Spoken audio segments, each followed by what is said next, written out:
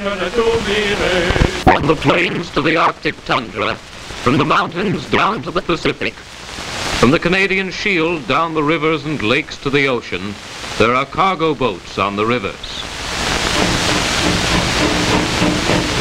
The grain from Canada's prairies is hauled by train to the lakehead and carried from there in ships, steel freighters with diesel engines.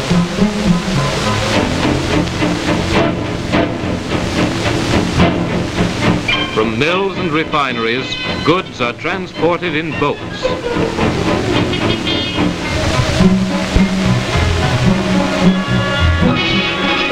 Ore is shipped to the mills on the lakes and the rivers.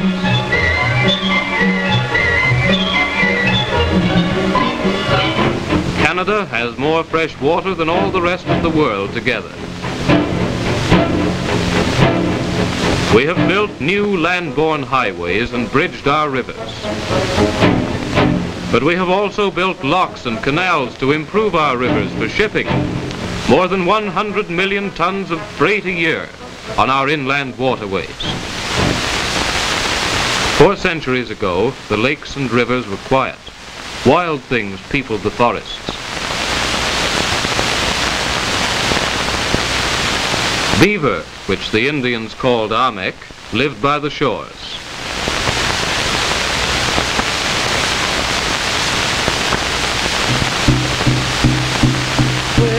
Indians roamed 5,000 miles of wilderness. The waterways were their paths.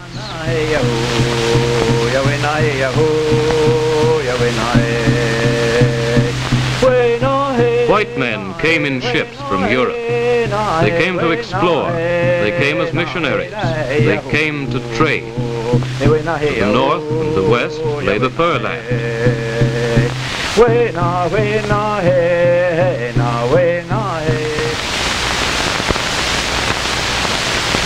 In winter, the coat of the beaver was thicker, so the Indian trapped in the snow.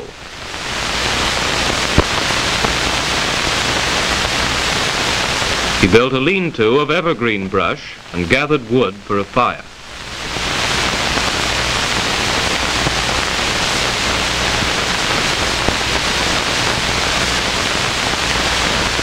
He set his traps.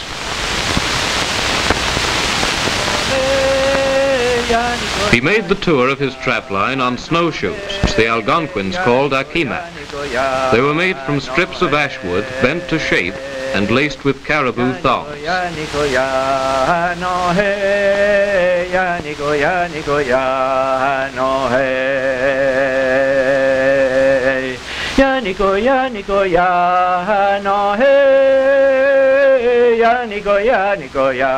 In a likely place for beaver, he would set a dead pole. The bait was hidden by evergreen brush, and the simple trap was only two heavy logs balanced on blocks of wood, with a stick which held the bait wedged between them. When the prey tugged at the bait, the heaviest log would slip down, pinning him to the spot.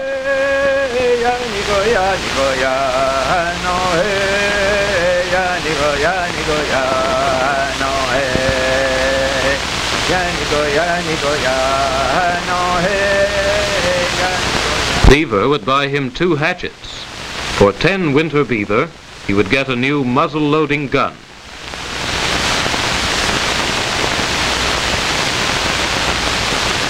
The beaver was the standard of trade. For three white winter ermine, he would receive the value of one beaver.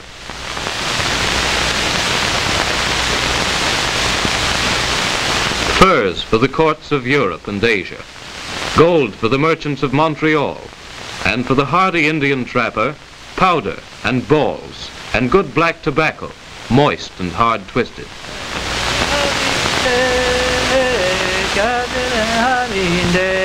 The cleaned and dried skins were tightly bound to his wooden sled or toboggan and hauled away from the camp.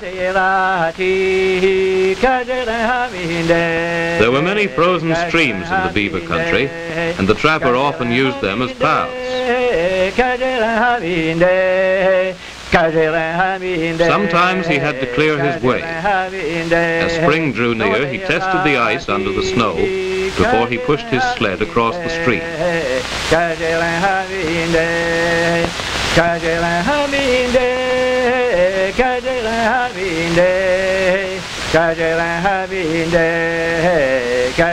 Haminde.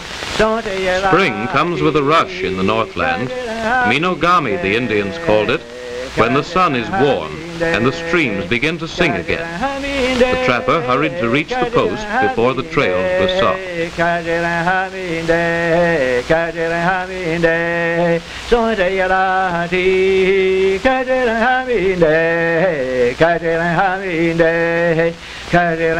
At the Hudson's Bay outpost, they traded their furs with the white men, but the pelts were still 2,000 miles from the ships that would carry them over the sea. There were rivers that ran to the ports, and daring canoemen carried the cargoes down. The Indians built their canoes from things of the forest. They built them of bark from the trees. Birch bark was strong and had natural gum that preserved it for long. In the eastern forests were many giant birches. They slit the bark down with a crooked knife, won in trade from the white men, whom they called gens de fer, people of iron. They pried it loose with a wedge of bark. This they did in June, when the sap was running and the bark was moist and loose on the tree. They called the bark weekwas.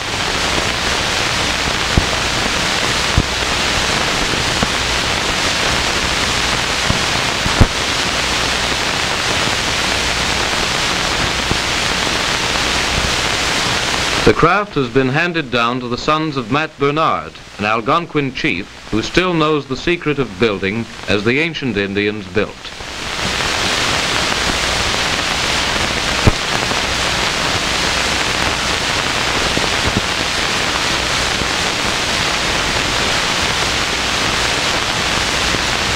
At their camp, Matt and Morris, his son, unrolled the bark, softening it with hot water poured from an iron pot.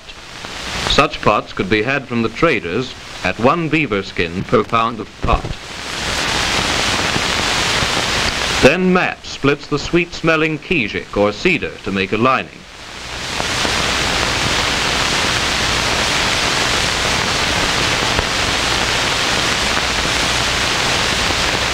He lays the strips of cedar on the bark to protect it during the building. The frame is made by tying together at each end two long strips of pliable wood, such as cedar or ash. They are tightly bound with thongs of peeled basswood bark. Cross pieces are fitted and tied into place.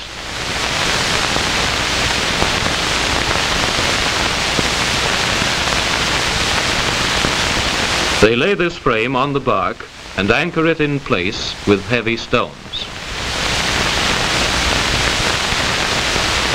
Then the canoe begins to take shape. They fold the ends up and hold them by a simple vise. They drive in stakes to hold the bark in shape. As they turn up the bark, they pour on hot water to keep it from splitting.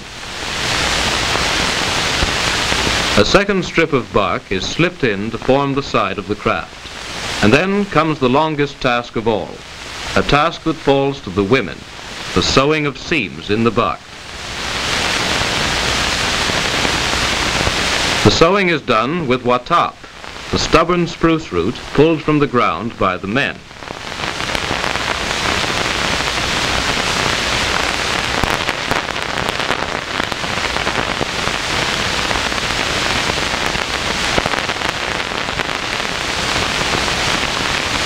The tough fiber is carefully split. Matt follows the grain from side to side, making sure the division is even. Morris peels off the rough outer bark. After soaking in water, the watap is moist and soft for use. Holes are punched with a migas or bone awl.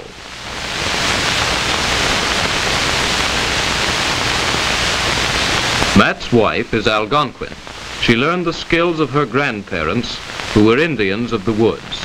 With them, she lived in and from the forest. All the women work at the sewing. for the seams are long and the bark is strong.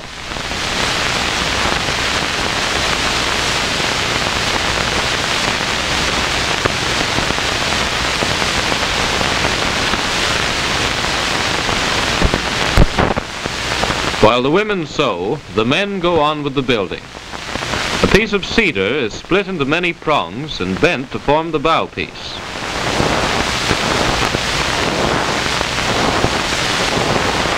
Matt binds it with basswood bark and ties it in such a way that it holds its curve.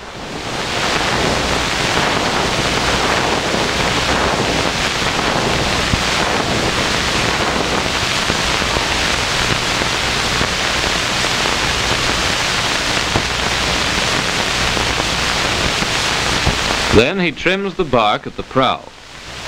He does not leave it high enough to catch the wind and thus make steering difficult. He cuts it to a curve that will skim the water easily.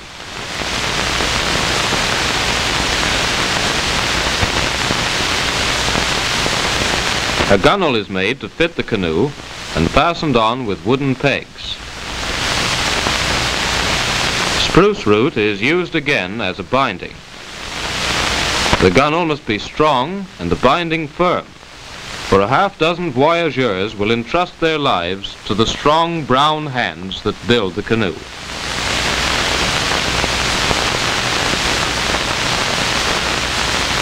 Meanwhile, strips of cedar for the ribs have been put to soak in the river. The wet cedar is easily bent to a curve.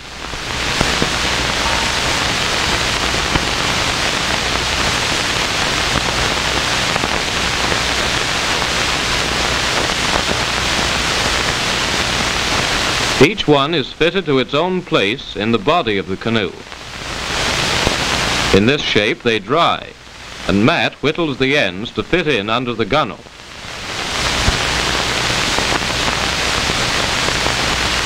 Out in the woods again, the women gather Menaigo bigu, the thick gum that hardens in great drops on the outside of the trunk of the spruce tree.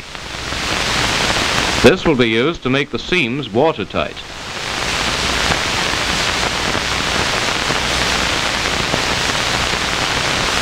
First, the lumps of raw gum are placed in a bag and boiled in water. The bits of bark and dirt that cling to the gum are held in the bag. But the clear gum rises to the surface and is skimmed off with a birch bark spoon.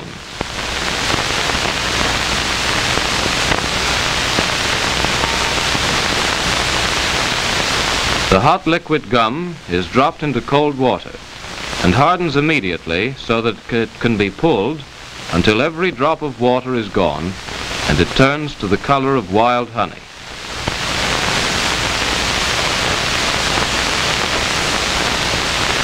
Again, it is boiled over the fire, and this time tallow is added. It must be exactly the right amount to make the gum soft enough not to harden and crack in the cold water, and yet hard enough not to melt in the hot sun.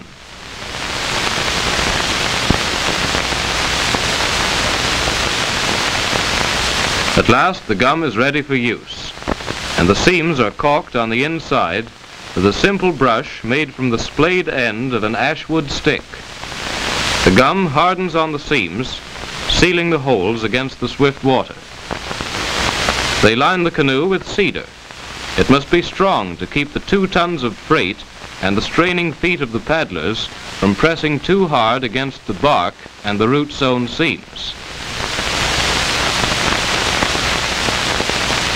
They drive the ribs home with a hammer made from a heavy crooked knot.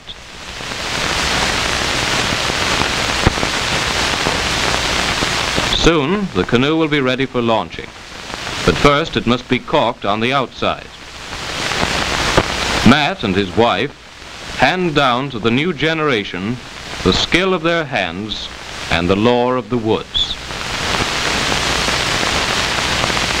Here is a strong and graceful canoe built from things of the forest, bark of the silver birch, sweet-scented cedar wood, stripped bark of the basswood tree, spruce gum and ash wood, spruce root from the earth, tallow from animals caught in the hunt. All these put together by Indian craftsmen to build a canoe that is native to Canada's rivers.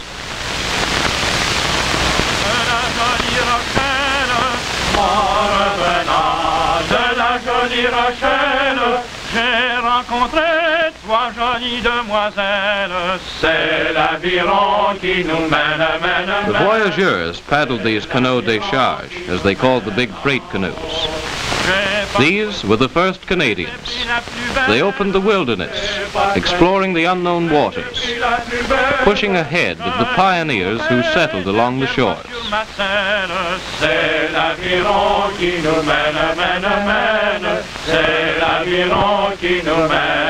The foremost paddler watched the danger ahead.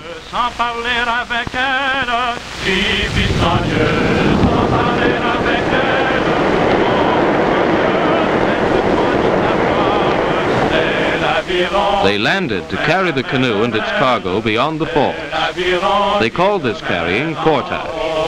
Joli menet, auprès d'une fontaine, joli menet, auprès d'une fontaine, à la fontaine, elle ne voulut point voir, c'est l'aviron qui nous mène. The paddles were tied into place with deer thongs, and the canoe was hoisted onto the shoulders of the men who paddled fore and aft.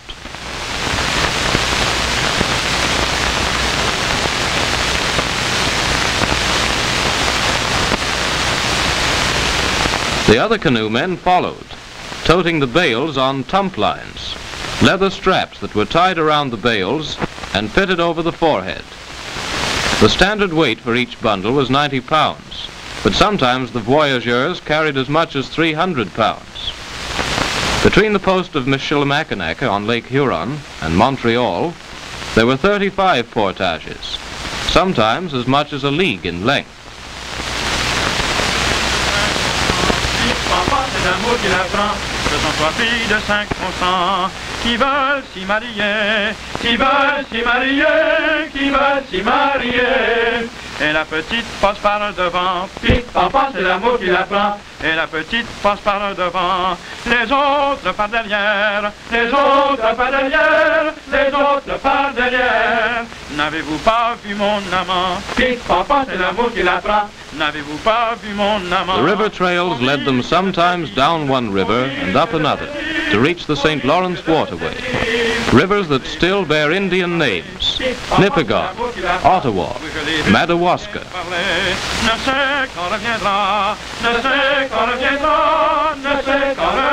They came to know the rivers. They heard the roar of the white water ahead of them, and they gave us place names like Petwewe, I hear it coming, which we call Petawawa. On the Ottawa, one of the greatest of all the trade rivers, was the thundering Swishaw Rapids. They landed and hoisted the bales on tump lines. They called this a day décharge.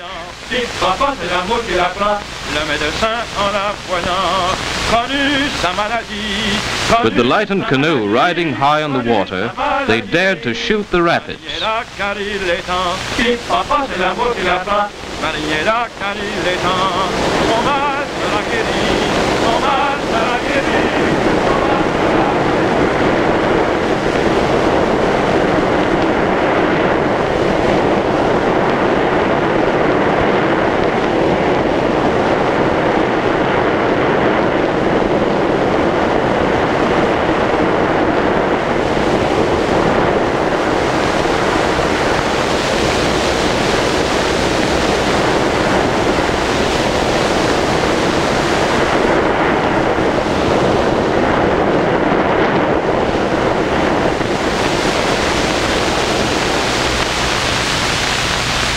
In August, the voyageurs reached Montreal, where they met the trading ships from Europe. They unloaded their furs and picked up winter supplies for the Indians of the interior. Soon, autumn frosts touched the woods of the Northland. The voyageurs hurried back to reach their distant camps before the winter was on them. They portaged the supplies. They paddled swiftly up the shallow autumn rivers.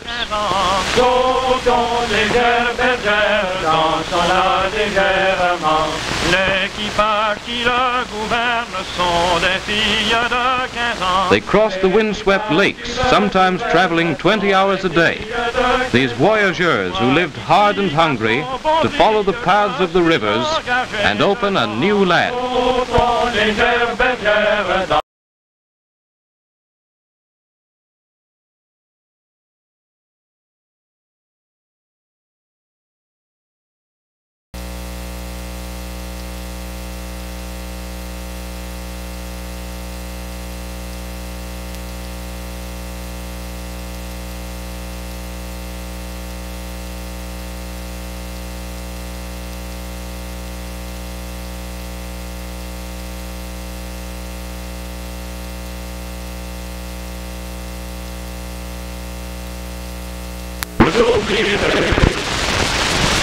From the plains to the Arctic tundra, from the mountains down to the Pacific, from the Canadian Shield down the rivers and lakes to the ocean, there are cargo boats on the rivers.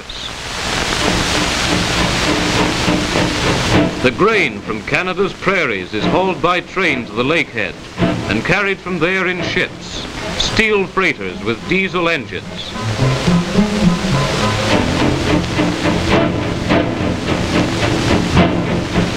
From mills and refineries, goods are transported in boats.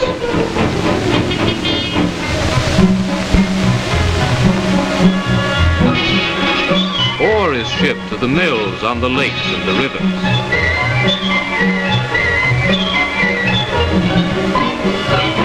Canada has more fresh water than all the rest of the world together. We have built new land-borne highways and bridged our rivers. But we have also built locks and canals to improve our rivers for shipping. More than 100 million tons of freight a year on our inland waterways. Four centuries ago, the lakes and rivers were quiet. Wild things peopled the forests. Beaver, which the Indians called Amek, lived by the shores.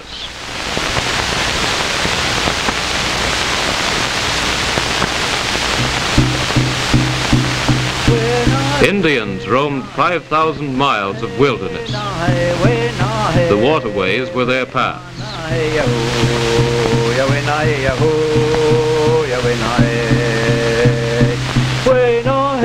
Men came in ships from Europe. They came to explore. They came as missionaries. They came to trade. To the north and the west lay the fur land.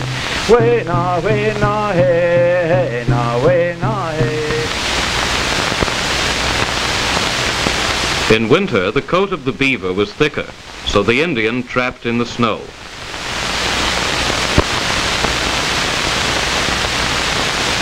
He built a lean-to of evergreen brush and gathered wood for a fire.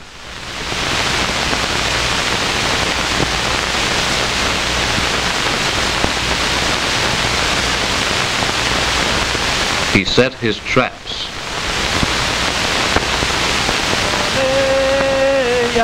He made the tour of his trapline on snowshoes, which the Algonquins called akimak. They were made from strips of ash wood bent to shape and laced with caribou thongs.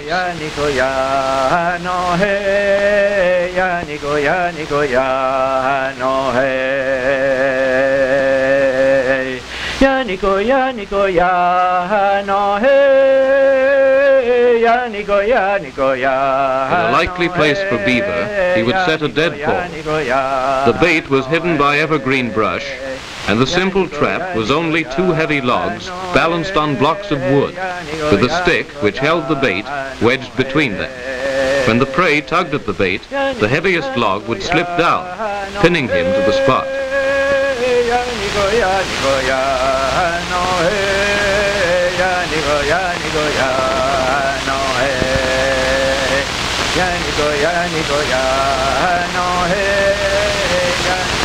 Beaver would buy him two hatchets.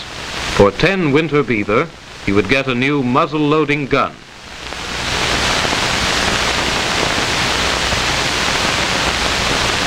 The beaver was the standard of trade. For three white winter ermine, he would receive the value of one beaver.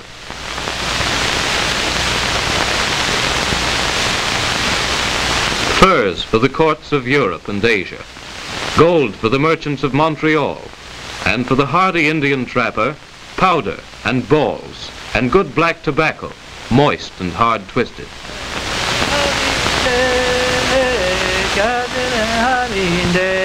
The cleaned and dried skins were tightly bound to his wooden sled or toboggan and hauled away from the camp. There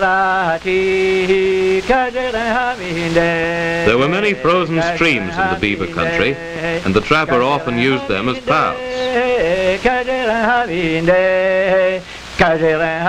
Sometimes he had to clear his way. As spring drew near, he tested the ice under the snow before he pushed his sled across the stream.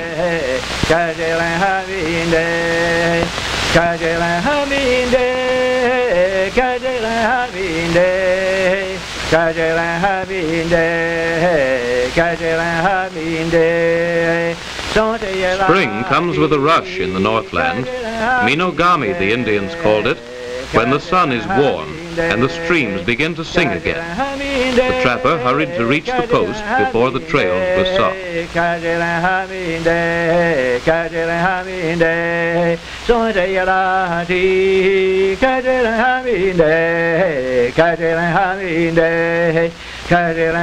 At the Hudson's Bay outpost, they traded their furs with the white men, but the pelts were still 2,000 miles from the ships that would carry them over the sea. There were rivers that ran to the ports, and daring canoe men carried the cargoes down. The Indians built their canoes from things of the forest. They built them of bark from the trees. Birch bark was strong and had natural gum that preserved it for long. In the eastern forests were many giant birches. They slit the bark down with a crooked knife, won in trade from the white men, whom they called gens du fer, people of iron. They pried it loose with a wedge of bark. This they did in June, when the sap was running and the bark was moist and loose on the tree. They called the bark weekwas.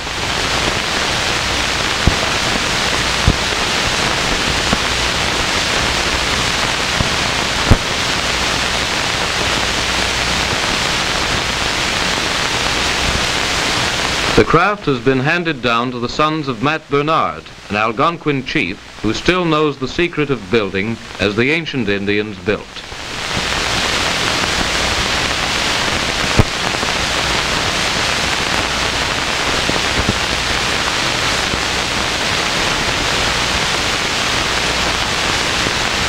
At their camp, Matt and Morris, his son, unrolled the bark, softening it with hot water poured from an iron pot. Such pots could be had from the traders at one beaver skin per pound of pot.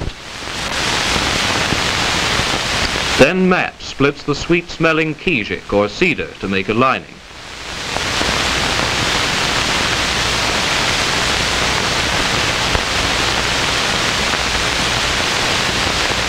He lays the strips of cedar on the bark to protect it during the building. The frame is made by tying together at each end two long strips of pliable wood, such as cedar or ash. They are tightly bound with thongs of peeled basswood bark. Cross pieces are fitted and tied into place.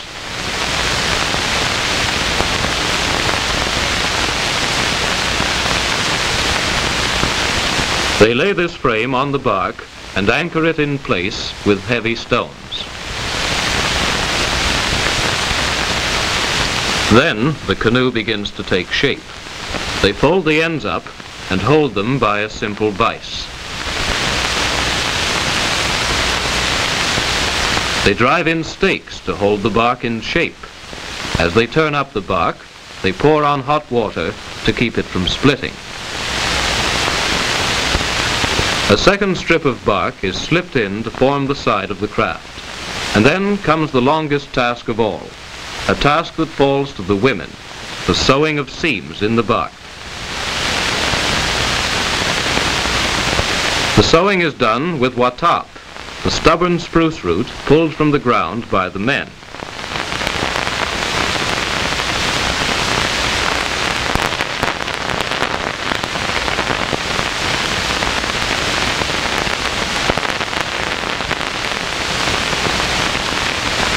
Tough fiber is carefully split.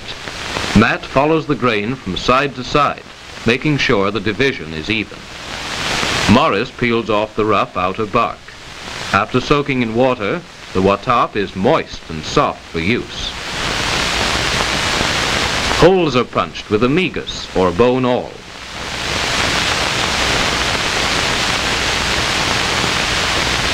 Mat's wife is Algonquin. She learned the skills of her grandparents, who were Indians of the woods. With them, she lived in and from the forest.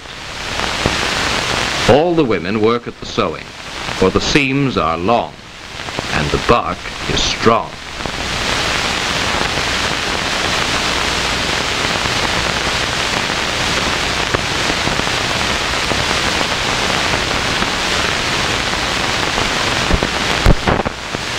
While the women sew, the men go on with the building. A piece of cedar is split into many prongs and bent to form the bow piece.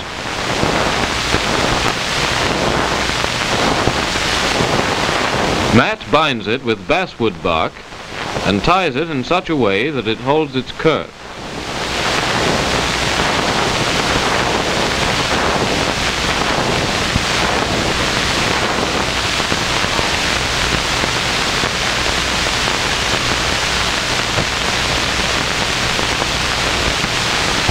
Then he trims the bark at the prow. He does not leave it high enough to catch the wind and thus make steering difficult. He cuts it to a curve that will skim the water easily.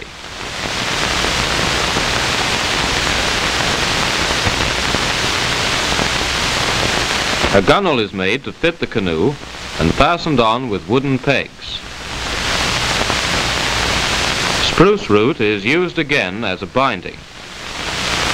The gunwale must be strong and the binding firm for a half dozen voyageurs will entrust their lives to the strong brown hands that build the canoe.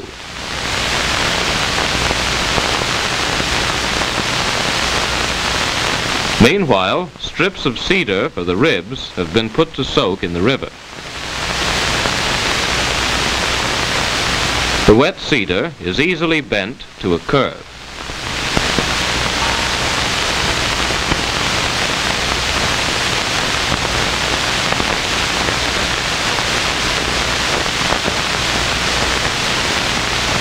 Each one is fitted to its own place in the body of the canoe.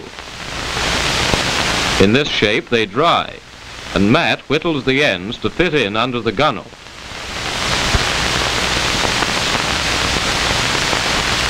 Out in the woods again, the women gather Menaigo bigu, the thick gum that hardens in great drops on the outside of the trunk of the spruce tree. This will be used to make the seams watertight.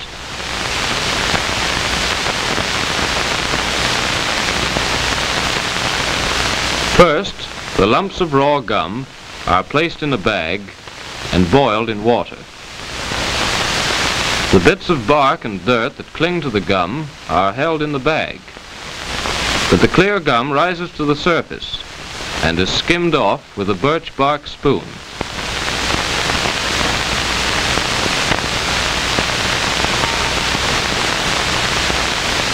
The hot liquid gum is dropped into cold water and hardens immediately so that it can be pulled until every drop of water is gone and it turns to the color of wild honey.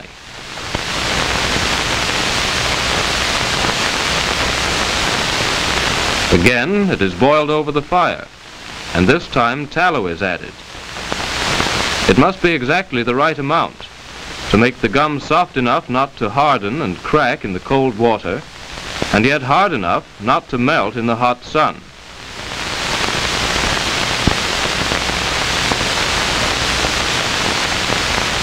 At last the gum is ready for use, and the seams are caulked on the inside with a simple brush made from the splayed end of an ashwood stick. The gum hardens on the seams sealing the holes against the swift water. They line the canoe with cedar. It must be strong to keep the two tons of freight and the straining feet of the paddlers from pressing too hard against the bark and the root sewn seams. They drive the ribs home with a hammer made from a heavy, crooked knot.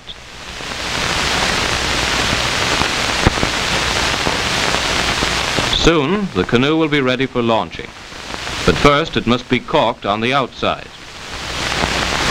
Matt and his wife hand down to the new generation the skill of their hands and the lore of the woods.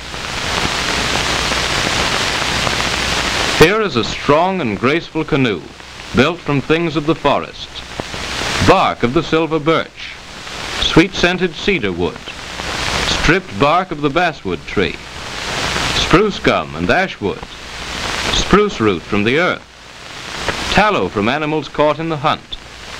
All these put together by Indian craftsmen to build a canoe that is native to Canada's rivers.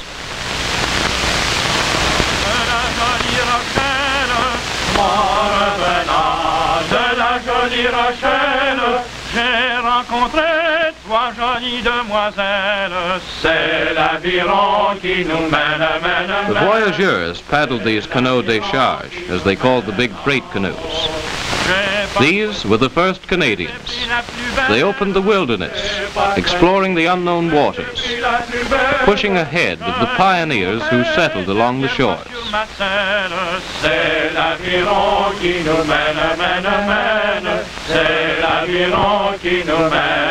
The foremost paddler watched for danger ahead.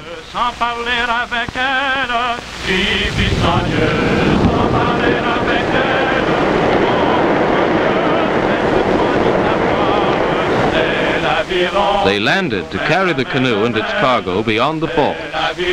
They called this carrying portage. Je l'y menais auprès d'une fontaine, je l'y menais auprès d'une fontaine.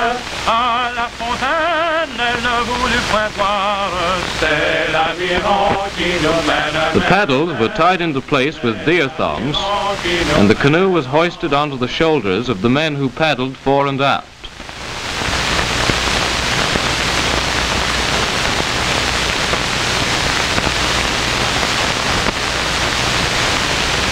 The other canoe men followed, toting the bales on tump lines, leather straps that were tied around the bales and fitted over the forehead. The standard weight for each bundle was 90 pounds, but sometimes the voyageurs carried as much as 300 pounds. Between the post of Michilimackinac on Lake Huron and Montreal, there were 35 portages, sometimes as much as a league in length. Papa, c'est l'amour qui la prend. Ce sont trois filles de 5 ans qui veulent s'y marier, qui veulent s'y marier, qui veulent s'y marier. Et la petite passe par le devant, puis papa, c'est l'amour qui la prend. Et la petite passe par devant, les autres par derrière, les autres par derrière, les autres par derrière. N'avez-vous pas vu mon amant Puis papa, c'est l'amour qui la prend. N'avez-vous pas vu mon amant The river trails led them sometimes down one river and up another to reach the St. Lawrence waterway. Rivers that still bear Indian names, Nipigon, Ottawa, Madawaska.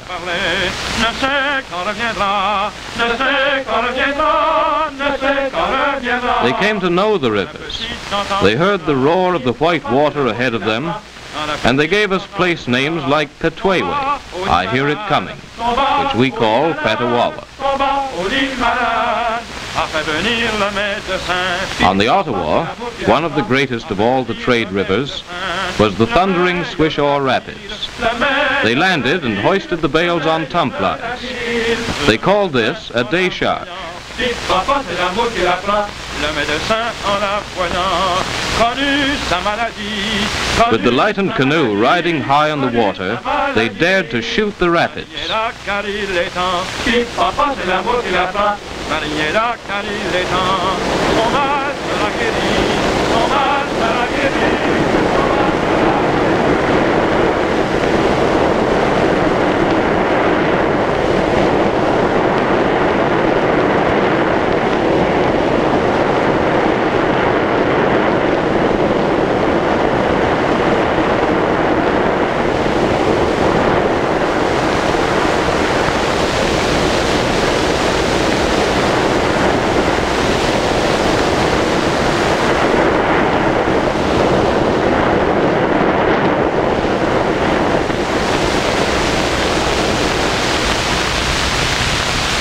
In August, the voyageurs reached Montreal, where they met the trading ships from Europe. They unloaded their furs and picked up winter supplies for the Indians of the interior. Soon, autumn frost touched the woods of the Northland. The voyageurs hurried back to reach their distant camps before the winter was on them. They portaged the supplies. They paddled swiftly up the shallow autumn rivers.